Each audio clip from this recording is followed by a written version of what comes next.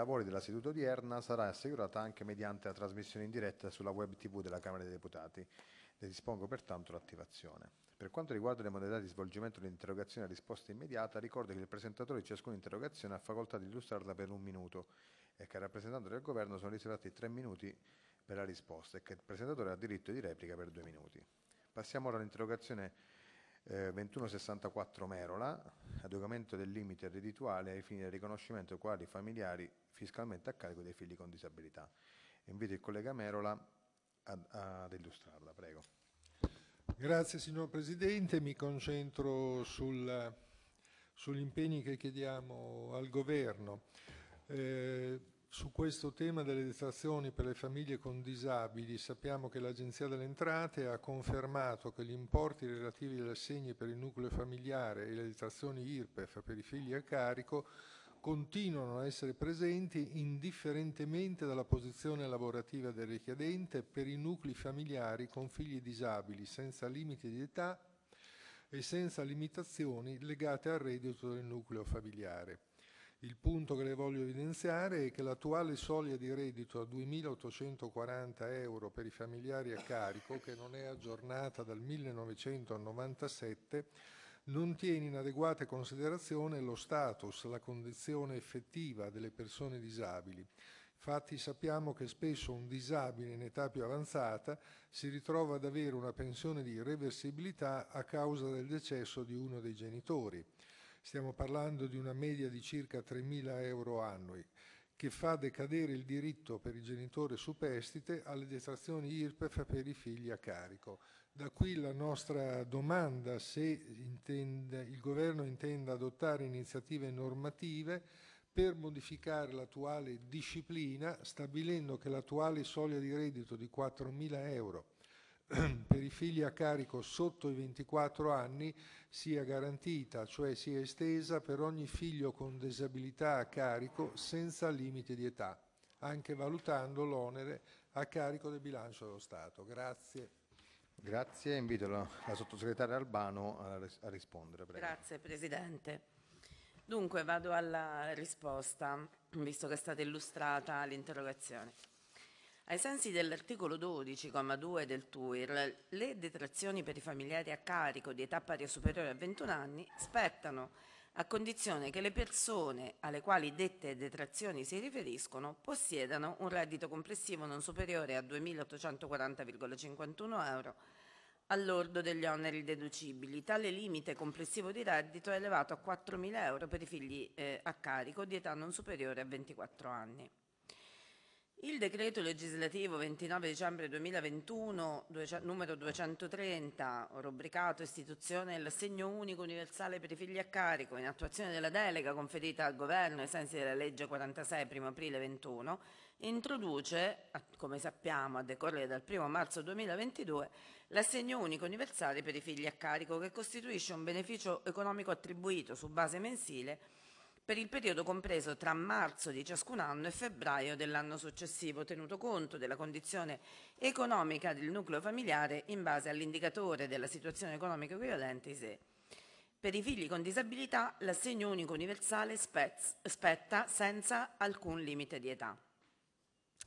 Ciò posto, in base al combinato disposto dei menzionati articolo 12,1 lettera C del TUIR e 2,1 lettera C del decreto legislativo 230-21, per i figli disabili di età pari o superiore a 21 anni, le detrazioni di cui al citato articolo 12 sono cumulabili con l'assegno unico universale eventualmente percepito, come da circolare 4 e del 2022.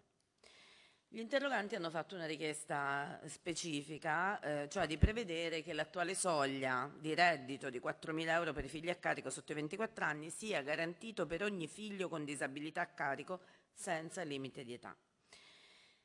A questo mi, mi corre l'obbligo di rispondere che allo Stato non è possibile fornire una stima esatta di quelli che sono gli oneri della proposta in argomento eh, per quanto eh, di particolare interesse, perché mancano le necessarie informazioni di dettaglio sulla platea di riferimento. Pertanto ci si riserva di fare questo tipo di esame per poi capire la possibilità di affrontare il tema con maggiore chiarezza. Grazie. Grazie. Invito il collega Melo a replicare. Prego. Eh, ringrazio la rappresentante del governo perché non ha escluso la possibilità ma ha rinviato a una verifica sulla platea, quindi penso che sia importante approfondire l'argomento perché come sapete nelle, nella vita familiare si creano sulla base di questi dettagli interpretativi situazioni anche molto, molto difficili, quindi eh, credo che eh, su questo tema torneremo, chiedo che sia possibile fare questa, questa verifica nei tempi più eh, possibili e brevi possibili. Grazie. Grazie, passiamo all'interrogazione 2165 FENU, impatto del superbonus edilizio sul contrasto all'evasione fiscale e contributiva nel settore delle costruzioni. Invito il collega Fenu ad illustrarla, prego. Sì, grazie Presidente. Uh, allora io qua uh, faccio riferimento all'ultima relazione sulla, sull'economia non osservata e sull'evasione fiscale e contributiva, da cui risulta eh, che nel 2020 c'è stata una riduzione dell'incidenza dell'evasione fiscale e contributiva sul PIL eh, di 3,3 punti percentuali eh, dal 2018 al 2020, legato in particolare al settore delle costruzioni. Eh, nel 21 dicembre 2023 eh, è stata aggiornata la relazione inserendo anche eh, l'annualità 2021 eh, dove si è registrata una riduzione, quindi eh, si è continuata a registrare una riduzione di 2,6 punti eh, percentuali. Nel 2021, sempre nel settore delle costruzioni, è stato anche il comparto economico in cui si è registrata una riduzione diffusa dell'incidenza del lavoro irregolare sul totale dell'occupazione, quindi meno 2,4 eh, punti percentuali rispetto al 2019. Quindi eh, questo miglioramento dei dati del sommerso trova conferma anche nell'incremento altrettanto significativo del gettito IVA legato sempre e delle imposte dirette al settore delle costruzioni. Il periodo di riferimento dei dati dai quali si attende un ulteriore miglioramento per le annualità successive corrisponde al periodo di introduzione e vigenza del super bonus quindi si chiede se non si ritenga sussistente eh, e in che termini possibilmente una diretta correlazione tra l'andamento positivo dei dati relativi all'andamento dell'evasione fiscale, in particolare per quanto riguarda il gettito delle imposte e la vigenza nel medesimo periodo del super bonus 110% e quali misure alternative si intende adottare per garantire negli anni a venire un analogo impatto eh, positivo. Grazie. Grazie, invito la sottosegretaria Albano a rispondere. Grazie Prego. Presidente. Dunque, con questa interrogazione gli onorevoli chiedono di riferire sull'esistenza di una correlazione tra la riduzione dell'evasione fiscale con la contrazione dell'economia sommersa e l'introduzione dell'agevolazione super bonus.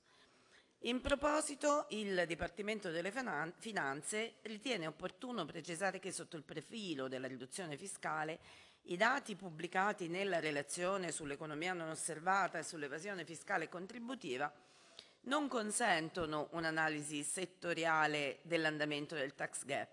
I risultati positivi in termini di riduzione dell'economia sommersa e tax gap registrati nel 2021, come riportato anche nell'aggiornamento alla relazione sull'economia non osservata e sull'evasione fiscale contributiva pubblicato a dicembre 23, sono da attribuire a diversi fattori di tipo strutturale, come ad esempio l'incremento dell'utilizzo dei pagamenti elettronici e il periodo di ripresa dell'attività economica a seguito della pandemia Covid-19 e di policy, tra i quali in particolare il consolidamento degli effetti positivi dovuti alla fatturazione elettro- elettronica obbligatoria. Pertanto, alla luce delle informazioni a disposizione, è difficile attribuire ad un singolo fattore la riduzione della dinamica osservata. Opportune analisi econometriche di valutazione ex post dovrebbero isolare l'effetto del superbonus da tutti gli altri effetti confondenti, congiunturali e di altre policy, ma appare difficile giungere ad una conclusione sufficientemente attendibile sulla relazione diretta tra la misura agevolativa in oggetto e il miglioramento della compliance. In merito invece alle misure alternative che il Governo intende adottare per garantire negli anni, negli anni a venire un, un analogo impatto positivo, si evidenzia che il Governo è impegnato a consolidare i risultati positivi in termini di riduzione dell'evasione fiscale nel medio termine, combinando il rafforzamento delle misure esistenti anche mediante strategie di controllo più efficaci e sanzioni tempestive, con l'instaurazione di un nuovo approccio collaborativo tra l'amministrazione finanziaria ed i contribuenti, così come previsto dalla legge delega 111-23 di riforma fiscale nei decreti attuativi, per aumentare la compliance volontaria e ridurre i costi di compliance stessa. Grazie. Grazie. Invito il collega Fenu a replicare. Sì, io ringrazio la sottosegretaria. Ehm, non sono soddisfatto della risposta perché credo che sia diciamo, carente e un po' anche sviante, perché non si può dire che non si può oh, calcolare quello che è la riduzione dell'evasione fiscale legata una, a, un settore in particolare, visto che in realtà è stato fatto, perché nella relazione sull'economia non osservata si dice che c'è stata una riduzione di 3,3 punti percentuali proprio sul settore delle costruzioni. Quindi come si fa a rispondere eh, una cosa diversa da quella che c'è scritta nella relazione sull'economia non osservata. Eh, anche invocare eh, giustamente sull'evasione, per carità, e la promozione dei pagamenti elettronici, però eh, se eh, questa emersione dell'evasione fiscale riguarda il settore delle costruzioni, se l'emersione lavorativa e contributiva riguarda il settore eh, delle, delle, costruzioni, eh, in questi settori già ci sono i pagamenti elettronici. Quindi eh, io chiedo al Ministero eh, un atto di eh, maggiore sincerità su questo argomento e invito davvero a smetterla di nascondere tutti quegli effetti positivi che sappiamo esserci, perché sappiamo che in realtà l'Agenzia delle Entrate ha indicato con precisione qual è l'emersione legata al super bonus, quindi chiedo veramente di eh, smetterla di occultare tutti gli effetti positivi di questa misura. Cerchiamo di, eh, di considerarla obiettivamente da tutti i punti di vista in modo da trarne insegnamento anche per il futuro. Grazie. Grazie. Passiamo ora all'interrogazione 2166 Borrelli, intendimenti del governo sulla riforma del sistema fiscale con particolare riferimento alla gestione dei debiti fiscali. Invito il collega Grimaldi in qualità di cofirmatario di illustrarla. Prego.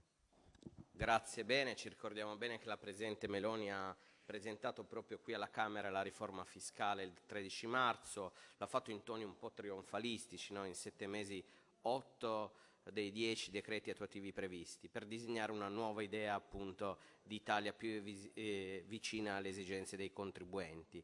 Peccato che l'adesione alla rettamazione offerte negli ultimi tempi dal governo stia aprendo una voragine nei conti dell'erario. Come mai? Perché i contribuenti, dopo aver aderito, smettono di pagare, diventando una causa strutturale di non punibilità dell'evasione fiscale. Il risultato lo conosciamo bene, eh, l'abbiamo previsto, segnalato e ripetuto. Ora il mancato pagamento delle imposte è ancora più conveniente e chi opta per la, la rateizzazione del debito sarà meno esposto al sequestro dei beni finalizzato a preservare una garanzia a favore del fisco. Non poteva che accadere questo con uno schema di decreto legislativo che riscrive il sistema sanzionatorio in base a principi limpidi, cioè una generalizzata riduzione delle sanzioni amministrative in caso di omessa o infedele dichiarazione, forme di depenalizzazione per l'omesso versamento di ritenute, depenalizzazione dell'evasione di necessità, cioè dipendente da cause non imputabili al contribuente che evade e l'Agenzia delle Entrate viene caricata di un improprio ruolo di ente concessionario di credito. Sono le parole poi della Corte dei Conti nella relazione sul rendiconto del 2023. In sostanza l'equivalente di una finanziaria che concede prestiti a una massa di debitori a elevato rischio di inesigibilità.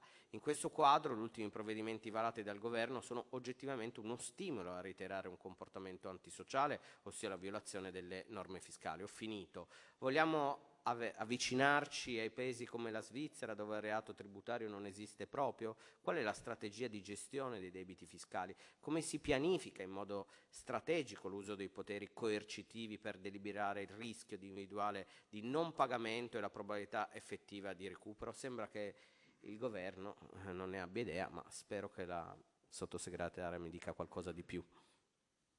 Grazie, invito la sottosegretaria Albano a rispondere, prego. Grazie Presidente, ci proverò.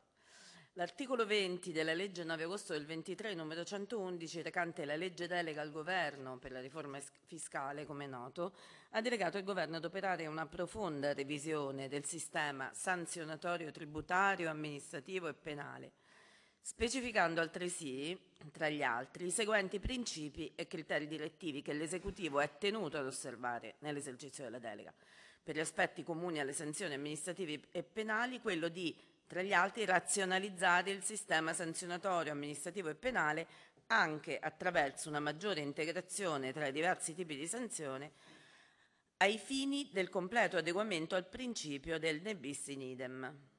Più in particolare, in merito alla disciplina delle sanzioni penali per le violazioni tributarie, è previsto tra i principi della riforma quello di attribuire specifico rilievo all'ipotesi di sopravvenuta impossibilità di far fronte al pagamento del tributo, non dipendente questo da fatti imputabili al soggetto stesso. Infine, in relazione alla disciplina delle sanzioni amministrative, si prevede tra l'altro di migliorare la proporzionalità delle sanzioni tributarie attenuandone il carico e riconducendolo ai livelli esistenti in altri Stati europei. In attuazione eh, della cennata legge delega, il Consiglio dei Ministri, nella seduta del 21 febbraio 24, ha approvato in esame preliminare lo schema di decreto legislativo con cui sono stati modificati i decreti, legislativi 471, 472 e 473 del 97, nonché, per quanto concerne i reati tributari, il, decreto legislativo 10 marzo 2000 numero 74. L'obiettivo principale che si mira a ottenere attraverso la complessa opera di riforma dei suddetti decreti legislativi è quello di razionalizzare il sistema sanzionatorio rendendolo più equo e proporzionato e di adeguarlo, come già detto, a quello degli altri paesi europei anche al fine di attrarre capitali esteri. In tale ottica, ad esempio, sono, stati, eh, sono state complessivamente riproporzionate le sanzioni amministrative, è stata comunque rispettata una gradualità delle sanzioni sulla base della gravità o delle circostanze connesse alla violazione, applicando aumenti o riduzioni delle sanzioni base. Per le sanzioni in misura fissa è stata invece mantenuta la possibilità di applicare le sanzioni da un minimo a un massimo.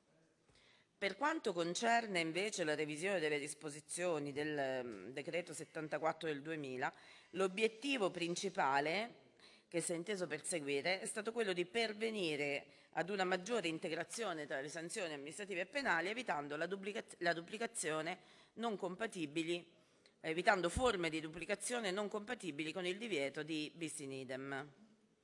Inoltre, in coerenza con i principi e i criteri direttivi della legge delega, sono stati adeguati i profili processuali e sostanziali connessi alle ipotesi di non punibilità e di applicazione di circostanze attenuanti, attenuanti, armonizzandoli con i termini di effettiva dura, durata dei piani di estinzione dei debiti tributari, anche nella fase antecedente all'esercizio dell'azione penale. Infine, hanno trovato piena attuazione due specifici criteri direttivi contenuti nella legge delega. Il primo è volto a dare rilievo all'eventuale sopraggiunta impossibilità, ne abbiamo diverse volte parlato, per il contribuente di far fronte al pagamento del tributo per motivi a lui non imputabili. Il secondo è preordinato a dare specifico rilievo in sede penale a quelle che sono le definizioni raggiunte in sede amministrativa o giudiziale circa la valutazione della rilevanza del fatto ai fini penali. Alla luce di, di quanto esposto, discende quindi che la- le scelte governative sottese all'emanazione del decreto legislativo di riforma del sistema sanzionatorio, relativamente al quale l'onorevole interrogante ravvisa eh, le sopracitate criticità, si pongono in diretta correlazione con i criteri direttivi indicati specificamente nella legge delega parlamentare. Grazie. Grazie, invito il collega Grimaldi a replicare, prego. Ho capito che c'è una nuova definizione, quindi il fisco amico per vecchi e nuovi amici. È il nuovo melonismo no? con cui definite una riforma che secondo noi non è né equa né progressiva, anzi corporativa sulla base degli interessi del vostro broccolo sociale di riferimento e magari attrattiva, come dice la sottosegretaria, per chi vuole venire a riciclare i suoi soldi nel bel paese. Ecco, questa sarebbe la vostra grande rivoluzione liberale. Di sicuro è un crescente privatizzazione dello Stato perché ci sono meno tasse per alcuni e meno servizi per tutti. Nebbia tra l'altro sui finanziamenti della riforma, ma certezza su sconti, rateizzazioni decennali, rottamazioni e di sicuro sanatorio che sono 18 in 18 mesi di governo. Continuate a fare misure che incentivano chi elude il fisco, secondo noi, danneggiando tra l'altro i contribuenti onesti. D'altra parte il motto è, se capisco bene, quindi è non disturbare chi vuole fare. Una linea che continua a essere paternalistica e liberista, che considera il fisco una sorta di camicia di forza che soffoca la società E chi paga però in tutto questo la vostra riforma? Innanzitutto i più poveri, perché ahimè il taglio del cuneo è stato finanziato anche con l'abolizione del reddito di cittadinanza e eh, e si ne vedono gli effetti eh, soprattutto sugli enti locali. Il secondo luogo tutti, ma di nuovo soprattutto i più poveri, tramite la riduzione della spesa pubblica e quindi dei servizi. Aumentare il debito pubblico non si può, visto che avete appena votato un bel nuovo patto di stabilità a cappio e a far crescere il PIL non si pensa. Secondo questo schema non sarà neanche lo Stato centrale a tagliare direttamente la spesa, ci penserà direttamente l'autonomia differenziata a delegare tutto quanto alle regioni, regioni che più di prima procederanno a privatizzare i servizi sanitari, le scuole e i trasporti. Insomma, tanti auguri a chi non si potrà permettere scuole, trasporti e sanità privata. Lo Stato amico, quello sì. Grazie, passiamo all'interrogazione 2167 Centemero iniziative volte a sostenere le politiche di accesso al credito per le famiglie e imprese. Invito il collega Centemero ad illustrarla, prego. Gra grazie signor Presidente. Eh, allora, eh, riassumendo l'interrogazione che parte da um, un report di Banca d'Italia, Economia regionale, la domanda dell'offerta di credito a livello territoriale, numero 43, dicembre 2023, sostanzialmente c'è stata una riduzione della domanda ehm, di credito nel, a partire dal primo semestre del 2023. Questa diminuzione pare originare ehm, dalla diminuzione delle esigenze per il sostegno agli investimenti e della copertura del capitale circolante. Inoltre le politiche di offerta del credito delle banche alle imprese si sono irrigidite, cosa che avevamo anche un po' notato già nella commissione d'inchiesta sul sistema bancario e finanziario della scorsa legislatura. Anche la domanda di mutui per l'acquisto di abitazione si è ulteriormente indebolita e il problema, poi oggi che è la festa del papà eh, è, è, significativo, è stato anche eh, in maniera preoccupante eh, riflesso sui prestiti contratti in passato e a tasso variabile, quindi con ehm, aggravi significativi sul bilancio familiare. Quindi si chiede al, MEF nella persona della, della sottosegretaria Albano, se quali iniziative, per quanto di competenza, si intendano adottare per evitare una nuova ondata di insolvenza, quindi un nuovo periodo anche di NPL all'interno dei bilanci bancari, al fine di sostenere l'accesso al capitale per le famiglie e per le imprese, anche per, tramite canali alternativi alle banche. Grazie. Grazie, invito la sottosegretaria Albano a rispondere, prego. Grazie Presidente. Ehm, dunque, in riferimento al quesito posto dall'onorevole interrogante, si evidenzia pre- preliminarmente che oltre al documento della Banca d'Italia richiamato, i dati più recenti sull'accesso al credito sono rinvenibili nell'ultimo rapporto sulla stabilità finanziaria di Banca d'Italia pubblicato a novembre e nell'indagine sul credito bancario del, nell'area dell'euro pubblicato proprio da Banca d'Italia il 24 gennaio 2024. Da tali documenti effettivamente emerge che la riduzione delle erogazioni è stata determinata in modo significativo anche dalla riduzione della domanda, oltre che da un irrigidimento nei criteri di offerta di credito. Al contrario, eh, alle imprese in particolare, al contrario l'offerta alle famiglie per l'acquisto di abitazioni e prestiti valutati meno rischiosi sono stati interessati invece da una riduzione dei margini applicati dalle banche. In particolare la domanda di credito da parte delle imprese è diminuita con una contrazione del 6,2% nel periodo settembre 22-settembre 23. In conseguenza del calo del fabbisogno per la spesa in investimenti fissi e del maggior ricorso all'autofinanziamento oltre che dell'aumento del livello dei tassi di interesse. Sulla riduzione del credito è influito anche eh, l'incremento dei rimborsi dei prestiti con garanzia pubblica ottenuti durante il, il periodo pandemico.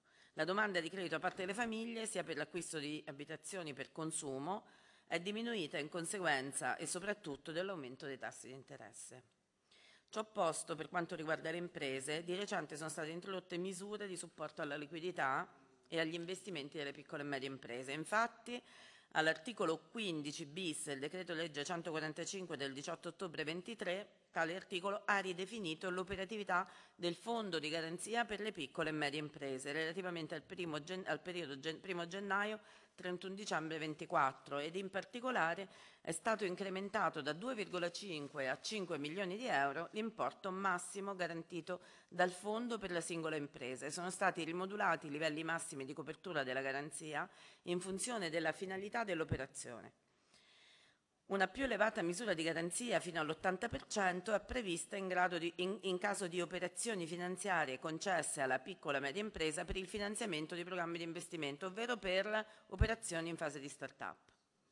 La garanzia nella misura massima dell'80% viene altresì riconosciuta per le operazioni finanziarie di importo ridotto, la cui soglia viene innalzata, il microcredito, dai 25.000 euro dell'attuale regime ordinario a 40.000 euro, ovvero 80.000 euro nel caso di richiesta di garanzia con riassicurazione, nonché per operazioni finanziarie di, di microcredito fino a 50.000 euro. Inoltre, la citata disposizione riconosce l'accesso alla garanzia del fondo enti del terzo settore per operazioni non superiori a 60.000 euro e ad imprese con un numero di dipendenti non inferiore a 250 e non superiore a 499, a fronte di singole operazioni finanziarie. E qui c'è il dettaglio della tipologia che evito di eh, leggere, eh, si può ehm, eh, insomma, leggere successivamente. Relativamente alle misure per supportare l'accesso al credito delle famiglie, si segnala che da ultimo la legge di bilancio 24 ha esteso fino al 31 dicembre 2024 la possibilità di chiedere l'innalzamento del fondo prima casa all'80% per i soggetti appartenenti alle categorie prioritarie che abbiano un ISE fino a 40.000 euro l'anno e chiedano un mutuo di importo superiore all'80% del prezzo d'acquisto dell'immobile. Tale possibilità quella di elevare la garanzia fino all'80%, opera anche quando il tasso effettivo globale sia superiore al tasso effettivo globale medio, nel rispetto di alcune condizioni che sono qui definite e illustrate. In aggiunta, le categorie prioritarie già individuate, giovani di età inferiore a 36, giovani coppie, nuclei monogenitoriali con figli minori, conduttori di alloggi IACP, la legge di bilancio 24 ha equiparato anche le famiglie numerose, prevedendo che a determinate condizioni i nuclei familiari rispettivamente con 3, 4 e 5 o più figli di età inferiore ai 21 anni possano beneficiare dell'elevazione della garanzia fino all'80%, all'85% e al 90%. In tale contesto si segnala anche la recente pubblicazione del decreto ministeriale che modifica la disciplina del, medio, del microcredito, il DM 211-23, ampliando il perimetro dei soggetti beneficiari, in cui oggi rientrano anche le SRL, non solo in fase di start-up. Per quanto riguarda la regolamentazione europea in corso di elaborazione, si segnala che nel cosiddetto pacchetto di Basilea 3 Plus, approvato lo scorso anno in attesa di pubblicazione della Gazzetta Ufficiale dell'Unione Europea, mh, su specifica sollecitazione della delegazione italiana, sono state inserite alcune misure anticicliche, prettamente finalizzate a favorire l'accesso al credito. A queste la revisione del, man- del mandato all'EBA per la definizione della qualifica di default, volta a favorire l'attività di ristrutturazione del debito da parte delle banche, mandato che l'EBA ha indicato tra le proprie priorità per il 24. Nel quadro delle iniziative europee di prossima implementazione ehm, è in atto il recepimento della Secondary Market Directive, la direttiva 2021-2167, con la quale verrà favorito lo sviluppo del mercato secondario dei crediti e si procederà anche al rafforzamento dei presidi a tutela dei debitori ceduti mentre nell'ambito della Capital Markets Union la delegazione italiana si è fatta parte attiva per promuoverne il rapido completamento. Pertanto, sono già, peraltro, sono già state adottate iniziative nazionali volte ad anticipare e ampliare l'ambito di operatività di tali riforme, come la legge 5 marzo eh, 2024 numero 21, per la competitività dei capitali e delega al governo per la riforma organica delle disposizioni in materia di mercato dei capitali. Queste ultime iniziative sono tese alla creazione di mercati efficienti in grado di rappresentare una valida alternativa al credito bancario per le imprese, ampliando, ampliando la modalità di capitalizzazione delle stesse. Grazie, grazie. invito il collega Centemero a replicare. Eh, grazie signor Presidente, ringrazio il sottosegretario per la risposta esaustiva, è importante tenere l'attenzione focalizzata su questi temi e eh, si è già fatto un ulteriore passo in avanti con, um, con alcune delle misure contenute nell'IDL Capitali, quindi penso a, per esempio alla dematerializzazione delle quote di SRL, eh, molto ancora può essere, può, essere, può essere fatto, ma mi fa piacere che si percepiscano i mercati alternativi al canale bancario come utili anche alle famiglie e alle imprese. Grazie. Grazie. Passiamo all'interrogazione 2168 Congedo, iniziative volte a tutelare la riservatezza dei dati dei contribuenti contenuti nel sistema informatico fiscale dell'Agenzia delle Entrate Serpico. Invito il collega Congedo ad illustrarla. Prego. Grazie Presidente, saluto il sottosegretario Albano. La vicenda è quella nota alle cronache eh, relativa all'indagine della magistratura sul presunto dossieraggio avviata eh, questa indagine a seguito della denuncia del Ministro Crosetto che vede coinvolto il eh, tenente della Guardia di Finanza Pasquale Striano in servizio alla Direzione Nazionale Antimafia indagato in concorso con il magistrato Laudati di accesso abusivo a sistemi informatici e banche dati, accesso abusivo che sembrerebbe coinvolgere anche il sistema informatico denominato Serpico, gestito dal Ministero dell'Economia e delle Finanze e in possesso dell'Agenzia delle Entrate un sistema che consente la visualizzazione con riferimento ad ogni singolo contribuente di dati sensibili di carattere reddituale, patrimoniale e finanziario presenti nell'anagrafe tributaria.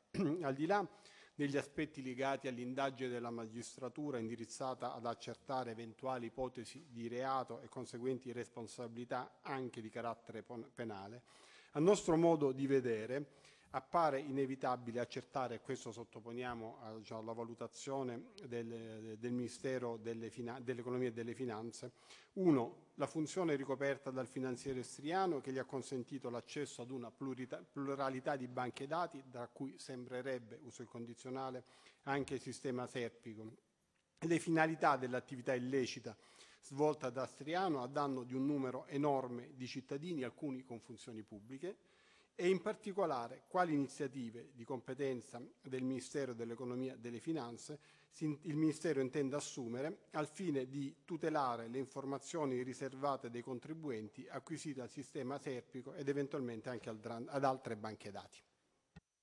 Grazie. Invito la sottosegretaria a rispondere, prego. Grazie Presidente. Dunque, ehm, i dati gestiti sistema, dai sistemi informativi dell'Agenzia delle Entrate devono essere efficacemente protetti per garantire la riservatezza, l'integrità e la disponibilità.